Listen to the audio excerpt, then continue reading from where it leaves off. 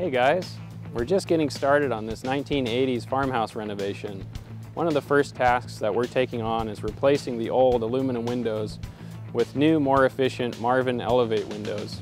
We've got some great tips and tricks that we're gonna implement today. So come join me and we'll dive into some of the details. Looking at the existing windows, there's a few reasons why we're gonna replace these. You can see that there's condensation building up in between the window panes, which tells me that the seals have failed and the argon gas has escaped. The second reason is that these windows are really poor performers to begin with. And the third reason is, is they were not installed correctly to be properly air sealed and waterproofed.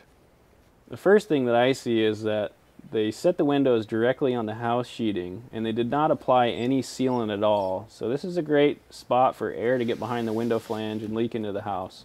That also will pull moisture. The second and more important issue that I see is the way that they lapped their house wrap over the flange. If you look down here at the bottom of the window, this paper is sitting over the flange. It should be underneath the flange. So what can happen in this situation is if water penetrates into the trim or the siding, it'll want to run down and it'll get right behind the paper. To properly do this, the bottom course of house wrap should be installed before the window and wrap into the sill. That way when water gets behind the siding or trim, it'll roll down and not get behind the house wrap. To remove the existing windows, the first thing that we're going to do is run our skill saw around the window to expose the window flange. Then we're going to pull the siding, pull the nails, and pull the window. To prep our window openings, we're using the Prosoco Fast Flash. It's a really great product for doing retrofits like we're doing when you have products like tar paper for the house wrap, which can be difficult to bond to with a traditional peel and stick. What we're doing is we're making sure the openings are free of debris, and then we're applying a really liberal bead of this Prosoco, and then we're going to tool it in. Uh, we want to make sure that the sill has a slope to it. Once the Prosoco is applied, we're going to spray it down with a little bit of water, which is going to help set it off so that we can get these windows installed in a couple of hours.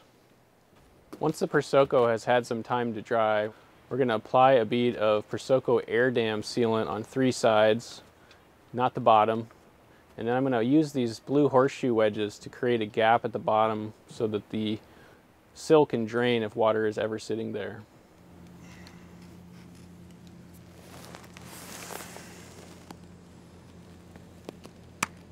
Now that we have the windows installed, we're going to work on the last bit of flashing details. These are the real crucial details that you don't want to mess up.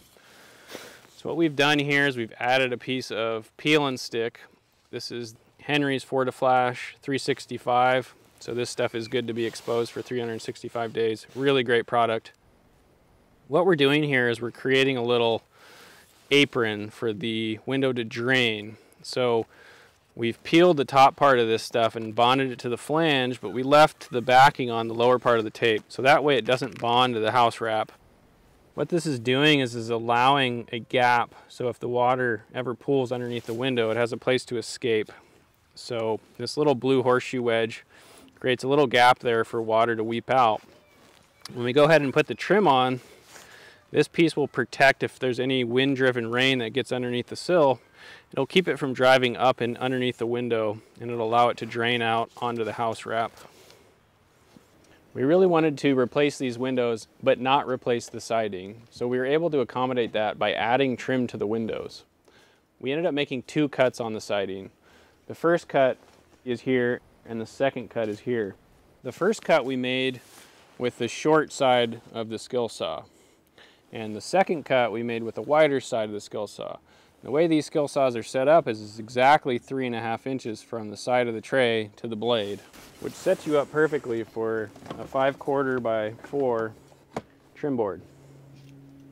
The first cut we made to get the old window out, I wasn't really too concerned about nicking the tar paper. On this second cut for the window trim, it's really pertinent that this tar paper stays intact. So what I did was first make a shallow pass with the skill saw. As you can see, the siding is still intact. And then to finish the cut so that I don't damage that house wrap, I'm going to take this composite shim, slide it behind the piece of siding, and finish the cut with this oscillating tool. As you can see, house wrap is intact.